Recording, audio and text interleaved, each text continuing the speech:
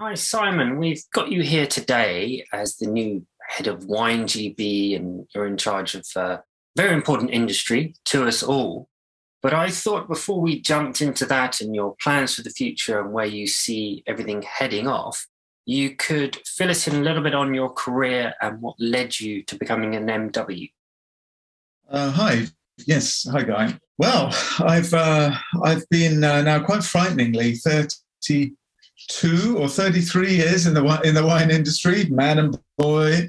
Uh, I joined uh, straight out of university, actually, mainly because I I um, not that I had a, a, a, any uh, kind of background in wine other than enjoying um, holidays with my parents in France, but um, uh, mainly because I thought food and wine, um, or food and drink, actually were, were, was quite a cool thing to do. And I didn't know at the, at the time there wasn't really a food industry. To, to you know, there was a food industry, but careers in food were mainly about sort of technical jobs or production um, and the whole world of chefs and uh, and the like didn't really the hours didn't appeal to me. I don't think so. Wine seemed like wine seemed like a good a good option, uh, and I and I started off. I, I was lucky enough to to fall on my feet. I I found a a great job working at Fortnum and Mason actually in London, selling very nice wine in general to to um, to rich people. Kind of evolved from there. So I so I spent seven or eight years there. Um, did my WSET um, uh, courses there, uh, and then um, and then started the MW uh, actually when I was at Fortnum's,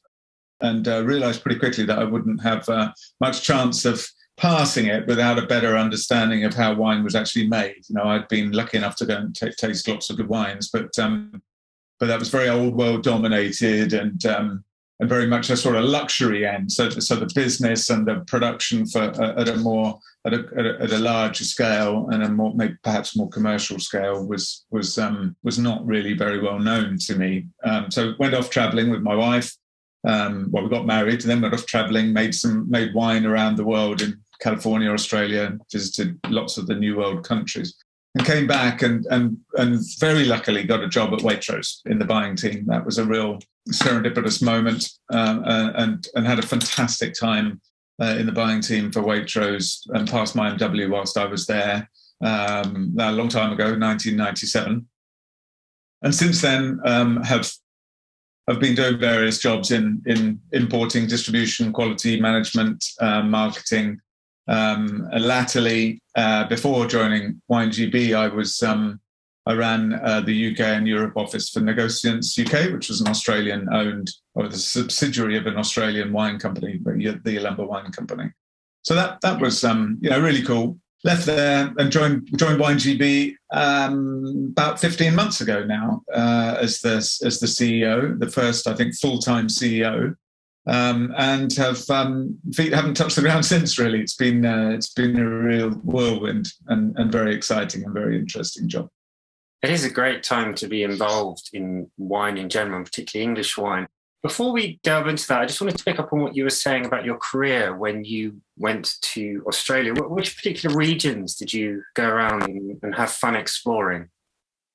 Well, uh, we were in uh, sorry, we were in Australia for about a year actually altogether, um, and um, some of it was it was a honeymoon after all, you know. So so um, uh, still living on the credit, uh, but um, but we spent um, we actually went to pretty much all of the production, the main producing regions, but but had uh, had work at vintage time in the uh, Hunter Valley in the olden days when when the Upper Hunter Valley, which was where Rosemount were based, and they had um, a fantastic vineyard, Chardonnay vineyard called Roxburgh, um, up up uh, in a near a town called Denman. Uh, so worked up there for a while with a with a great winemaker um, called Phil Shaw, who's still around, but not not with um, not with uh, Rosemount anymore so I did that, and then I, I worked uh, full vintage at um, at Chateau Tahbilk, which is in um, the uh, Goulburn River uh, area, Goulburn Valley, which is about hundred kilometres, I think, north of, of Melbourne in Victoria, and and that was that was an amazing experience. Actually, it was probably three or four months worth of work. Um, a few of the, very few of us working vintage. It was extremely hard work. I haven't been as fit as that in a long time, nor have I drunk as much nor have I ever drunk as much beer, but it was brilliant because you had very traditional red wine making. So open top fermenters, punching down and pump overs and, and the like. but also very modern white winemaking. So, so you know, the, the, you had the kind of best of both worlds. Really good, um, you know, really good from a learning perspective because we were a small team, and effectively, I got I was able to get involved in in all sorts of different roles within the within the vintage work. So, so um, yeah, it was it was fantastic from a from a learning perspective and from an understanding of how a winery works you know, it was it was invaluable, I have to say, and and but but also the contacts that you make when you're doing that sort of trip. Uh, you know, we met lots of people. We, we started in California. We met lots of people in California that we then were able to hook up with around the world as we carried on our travels. Um, and and and you know that sort of network is. I'm sure it's not unique to the wine industry, but but it was. Um, you know, re- really quite extraordinary how much welcome we were given by very, very many people around the world. That's great. I mean, especially considering that the regions that you're mentioning are what are now considered as new world wine regions, so Australia. Have you noticed any key uh, similarities between those and where the English wine industry is? Because obviously we're even newer in that sense. Yeah, yeah. Well, do you know what I think is one of the things that really characterizes the English wine scene, English and Welsh wine scene, is is this kind of openness to innovation and you know willingness to try stuff uh, um, and also always looking to improve.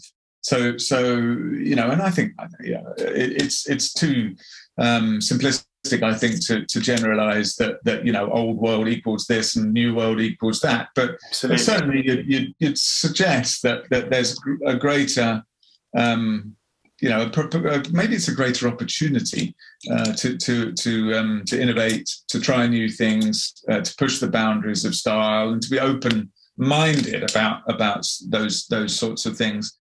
The one of the real attributes or the uh, um, real key positives about the industry here is that, that, there's so much understanding because of where we are, and so many people have worked, like myself actually, worked importing or developing brands and working with winemakers from around the world for, for sale into this market. So so many of the people that that, that you see have have experience have had an experience of working with with wines from around the world and winemakers from around the world that I think it makes us very open to ideas, to concepts, but you know, not so much a closed mind, this is the way you do it, and, and you know, you must not deviate from this path.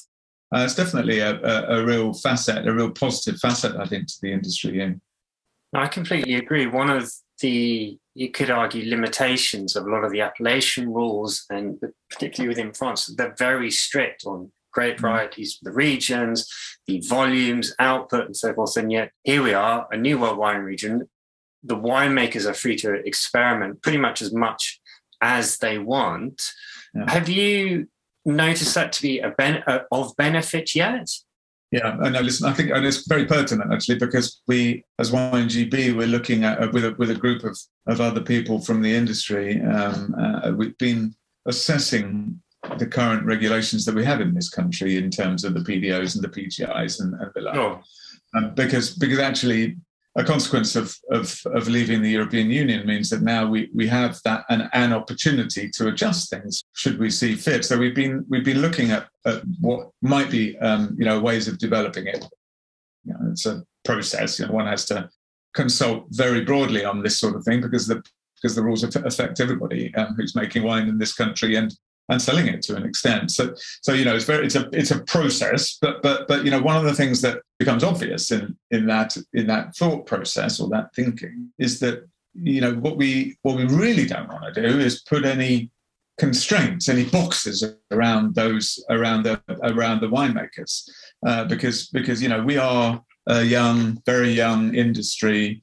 Lots of um, you know planting, lots of lots of growth, lots of new ideas we you know what's good now good grapes might come from somewhere else in 10 15 20 years time. We we don't know. Uh, and and therefore you know why would you try to control or legislate for something that might happen might not happen? Uh, and and so therefore you know you need to i think we feel that they, we need to create a framework which assures a, a, min, a minimum level of quality um, and, and, you know, I think everybody would have an aspiration that, the overall levels of quality will, will increase gradually and you know, continual sort of improvements, whether they be in the in the world class sparkling wines that we already make, or or, or for, for the still wines from different grape varieties, or whatever it may be. but you know, so so as long as we can kind of look to shore up the the uh, a minimum level of quality assurance for the consumer, then then you certainly wouldn't want to put too many constraints around it. And I think you know there's a there are quite a lot of um,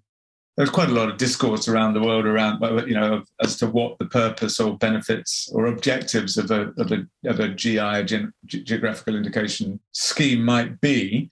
Uh, certainly, the you know ge- the actual linking quality to place is n- not really something that that we should be uh, i don't think we should be trying to trying to put in place very in the near future let's say because there's just so much we don't know about the about the vineyards that that, that we grow you know about place best places for the vines etc etc and and things are evolving so quickly as we as we go as well. So so yeah, it's but it's a great and very interesting and philosophical as well as as well as practical debate. Absolutely. And as you say, we are developing at a, rapid rate. There is a lot of freedom for winemakers to experiment with all these different yeasts, all these different varieties where they wouldn't necessarily be allowed to. What do you think the hurdles are that we we have as an industry? You know, what challenges do you think there is? Well, I think we do have challenges, and a lot of it is around that the sort of unknown uh, or the high levels of volatility we get in yield from one year to the next. You know, yeah. the, the difference between 2018, uh, when we had the equivalent of, I think, just over 13 million bottles were produced. Uh, you know that, that that's actually even though there are more vineyards that's actually come down over the last uh, three three vintages 19 20 21 have been more around 9 or 10 million bottles um, if you're if you're on the commercial end of that and trying to manage growth because we've got growth in sales, so uh, you know very strong numbers um, uh, at the moment. So so which is which is fantastic and a, a, really positive sign from a from a consumer engagement perspective. The the other were mentally sustainable uh, or, or have have the best possible environmental practices in a climate which is you know, pretty quite often unhelpful for growing grapes, and therefore, you know, that balance between um, non-interventionist or, or, or non-chemical um, uh, based viticulture to to, um, to to that which is practical. I think there's a there's a balance to be had there. You know, we have to be a, we have to be conscious of of growing uh, a viable crop um, as well as well. Otherwise, there's no there's no industry to protect or no land to protect if we if we if we're not careful.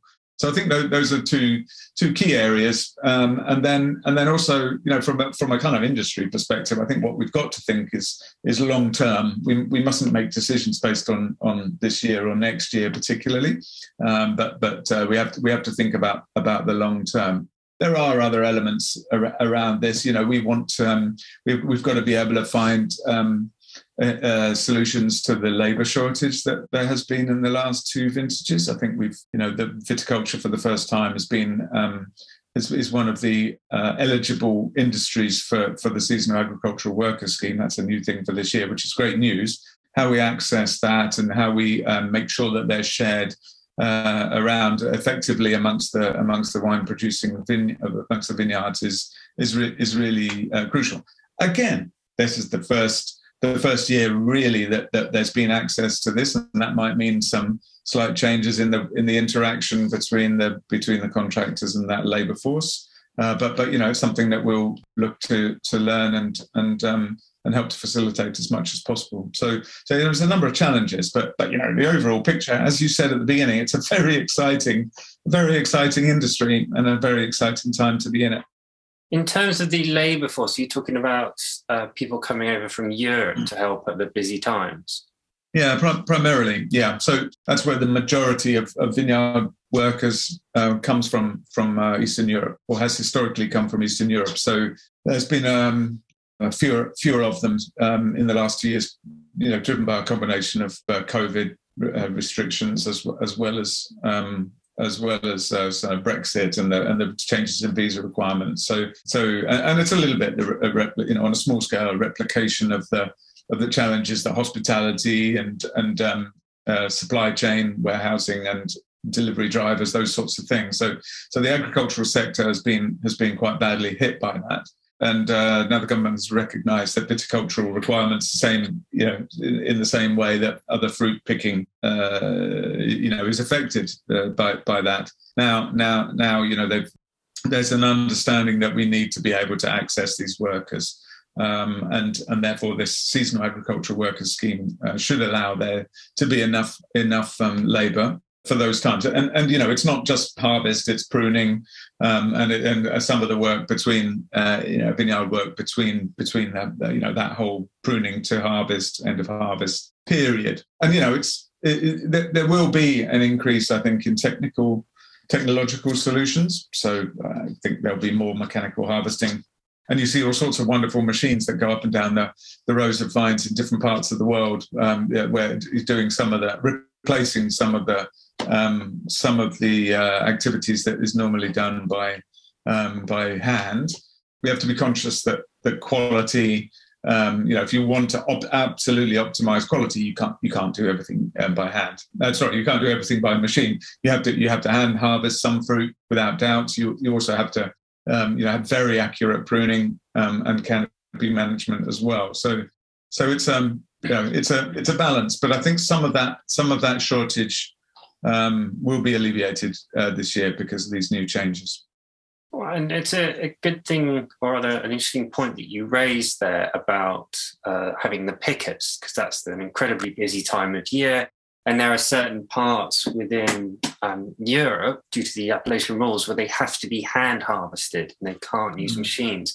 And if we're able to bring over or have more labour, do you see that as a general booster for the industry and a very good thing because the quality might be better, for example, with grape selection?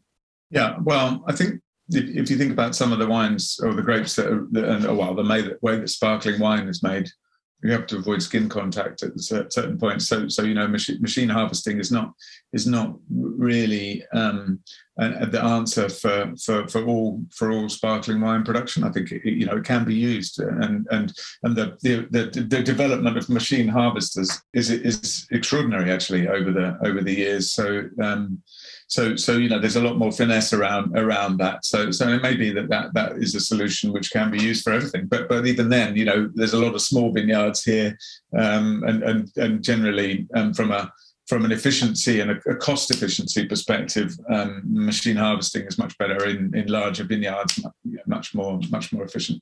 My sense is that you know, we, we definitely will require uh, labour.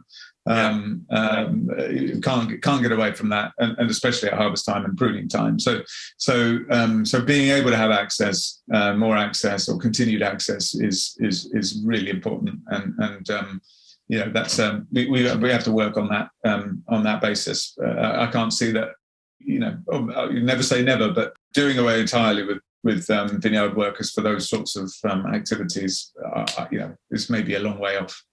Yeah, and and as you say, there's certain times when a vast amount of labour is needed, and, and you have a short window to do that. So it's, it's an influx of people that's required. Mm. Um, and as you say, it would be best if we could make that easier. We'll have to wait and see. Yeah, and I think one of the challenges is around the fact that the, the people that have worked several vintages or several years of, you know, especially in pruning, in fact, you know, if you're a good pruner, um, you know what you, you know, being particularly well, you know, directed as well, this is what we want require. You know, those, there's you're much faster when you know what you're doing and you've done it before, and you, you know that. So there's a sort of semi-skilled element to this, which is which is um, which is important to bear in mind. So so you know, it's definitely is best to have people that have had some some experience of working in vineyards um, and be able to use them year after year. And whether that's going to be feasible in this with the new scheme, with the new seasonal worker scheme, is um, is is a little bit up in the air at the moment, I guess. Do you think that the industry should have a focus on just producing sparkling wines? Like, do, do you think it would be better if if the English wine industry was known for producing just continually world beating sparkling wines, so rather than having a percentage of stills. Uh, no. I, I um, this is probably a you know a personal view as much as a, as much as anything else. You know, I think I think the world of wine is so exciting uh, and so engaging because of the variety um, that that it produces, and uh, you know, we have we have um, we have as an industry gained a wonderful reputation, growing reputation uh, for the quality of the sparkling wines that we make.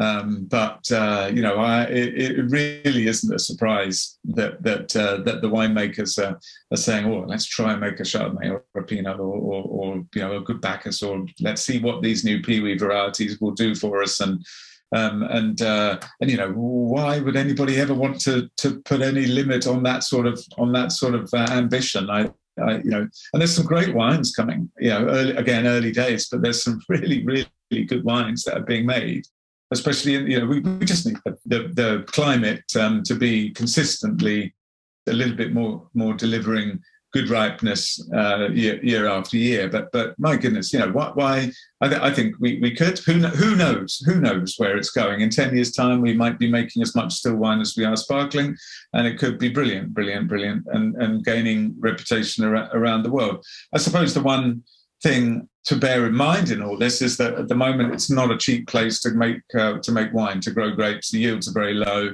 um, and and therefore you know that that pushes up um, the, the the cost or the or the selling prices of the wine. So so they've got to be good to be able to uh, to justify those those um, those prices and make sure that the consumer, as more and more consumers get into English and Welsh wine, they've you know they're, they're, they're, you have to you have to earn trust of consumers in, in my mind. So, so you have to deliver a quality um, and and price um, equilibrium or over deliver on quality. Um, and and you know as we mature as that relationship with the consumer in this country especially becomes more uh, evolved and more engaged then then you know you will get more consumers into our category, still and sparkling, who are less used to spending the sorts of amounts of money that we that the wines are, are fetching at the moment. So that's uh, those are, that's the that's a kind of community of consumers who who we really have to work um, to maintain their their trust and their, their engagement in the category. So so um, so I think that's that's an important that's an important element uh, as as we go forward. But wow, you know, I mean, there's all sorts of different ways that this industry can go. You know, who would have thought that that the Crouch Valley would be making you know really really ripe Pinots and Chardonnays? Um, that's that's great. Where's where next? You know, what, that's one of those. As a wine enthusiast, you kind of think, wow, fantastic. Let's um, you know, how, how's it going to evolve? Where, where's it going? uh, rosé, English rosé uh, at the moment um, is, uh, you know, I don't think I think if you if you spoke to most producers of rosé, they just sold out so quickly last year. Um, need more, need to be able to make more, um, and uh, and there's such a demand for it. I keep using this um, this sort of catchphrase that that you, re- you really don't need to go to the south of France to get a good rosé. Um, you know, just go, just go, just, just go around the corner. But you know, there's great rosés being made all over the place, and um, uh, so yeah, very exciting. You mentioned it briefly earlier about the issues with workforce uh, at certain times of the year. But what about the issues with wine supply in general? Because a lot of vineyards do sell out just because we simply don't have enough wine. And as exports increase and greater awareness increases, these are all wonderful things for our industry. But we need to have the wines, we need to be able to supply the demand. How do you see us uh, approaching that bigger picture, should we say? Yeah, well, it's um, again, it's a sign of the of the early stages or the early years that we're in as an industry, as a serious commercial industry. That that um, that balance between supply and demand is quite hard to manage uh, at the moment. And, uh, and you know, it wasn't long ago when there was a, a, a, concern that there was going to be a you know way too much wine. How how will we be able to manage um, to maintain premium prices if, if there was a lot of wine around that, that needed a needed to find a home? Uh, it feels a little bit like we're a long way from that at the moment. But uh, but you know if we have uh, two or three bumper crops, then then that might come back onto the agenda.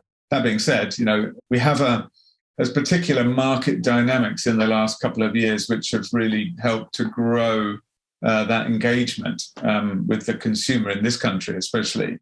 Uh, you know, lack of international travel, um, the, the, the the desire to buy local, a, a, real desire to get to know people that are producing those things that you put in your in your body, you know, whether it be food or wine, or, or drink. So, so you know, there are a lot of market dynamics have, have played into our uh, it's played to our favour. I think uh, um, over the last couple of years, or three or four years. So, so there, you know, and it's a sh- it would be a shame, I, I, think, in order not if we weren't able to fulfil that. Um, you know that demand. Um, and and uh, you know that it's quite hard to control that you know and and you know each individual producer will will have a, a task on their hands to be able to forecast sales growth and to uh, try to be able to match um, to be try, to be able to match production in order to be able to to to, to supply that demand.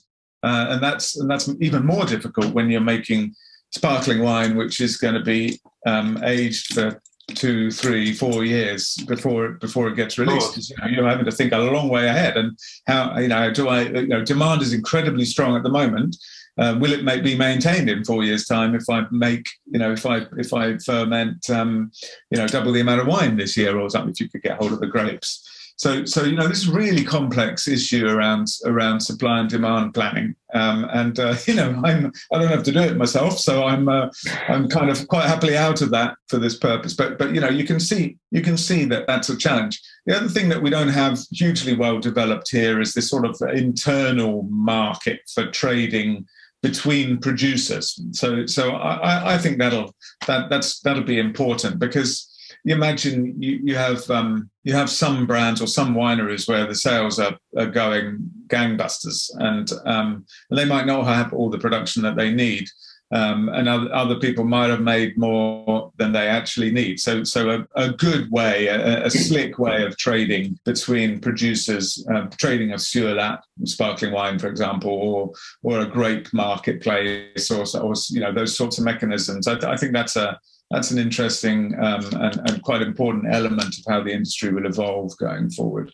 But yeah, I mean, it would it's um, it's a uh, you know we're not at the stage where we where we don't have enough wine at all yet. Um, but but but making sure you know having the wine in the right place at the at the right time for the right customer is is uh, is is is really important. But you know, there's so much headroom still in terms of um, the market opportunity in this country. There's there's um, there's still I don't know how many it would be in the in the main four supermarkets. There's probably I don't know ten times as many champagnes on the shelf as there are English sparkling wines, for example. Um, you know, so so if we're able to to grasp some of that um, some of that um, shelf space for, for, for English and Welsh wines, then then that'll you know that will increase uh, demand. On trade to on trade is a big area of opportunity. Uh, you know, wouldn't it be if you go to you go to Cape Town or you go to San Francisco or Sydney or Melbourne uh, or Adelaide, you know, you, you go and you see, you know, the, the wine lists in the in the on trade or the or the um, well in the on trade overall, you know, dominated by the local wines. So uh, you know, we're a long, long, long, long, long way from that in this country, and um, you know, there's a lot of opportunity there, which can be developed over the years. It's not gonna can't turn it on overnight, but but you know, it would be it would be great if that if that sort of um, you know that that sort of uh, emphasis on local wines could be um, could be uh, could be replicated in in in the marketplace in the in the on trade here, not just in London, but you know in the whole country. Of course. Do, do you think another route to helping people be more aware of English wine, slightly uh, contradicting what you were saying, is perhaps to have uh, fewer wines out there. So, in other words, we've got all these producers, and it's great everyone's putting so much effort into making uh, all these different wines and these different brands, but perhaps it would be better to have a consolidation of that to have more wines available in terms of the individual supplies. Yeah, I think I think that'll come. It's a sort of natural outcome, really, of of uh, the evolution of the industry. So, so I mean, you could draw some some parallels with uh, California, uh, uh, where um, where you know when it, when when the industry over there in the Napa was was started, you had um, you had lots of, of smaller producers um, uh, selling locally, um, and and uh, gra- gradually gradually there's been a sort of um, corporatization almost. I mean, we've still got a lot a lot of smaller producers, but but um, but a lot of the larger ones have been have been either kind of uh, integrated into other portfolios or, or there's been some consolidation or, or larger um, larger uh, corporations have bought into those and and you kind of imagine that in in time that that that that is a is an evolutionary development for, for, for the industry here, but but I think we're fair fair way from it at the moment. I I,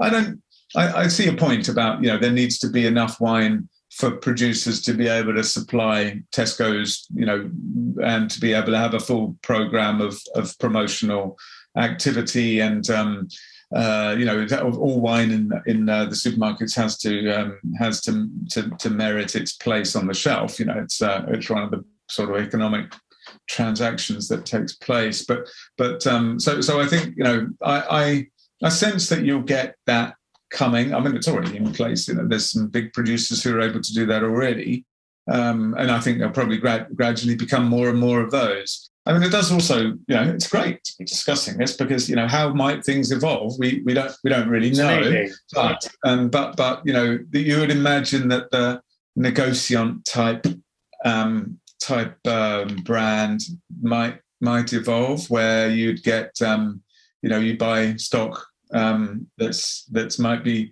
sitting short, especially on sparkling wine. I'm talking about here rather than still wine. But but um, you know, if there's a lot of wine sitting on sur latte somewhere uh, or in different places, then then this brand that might have access to the supermarket shelves would want to buy into that to be able to continue supply.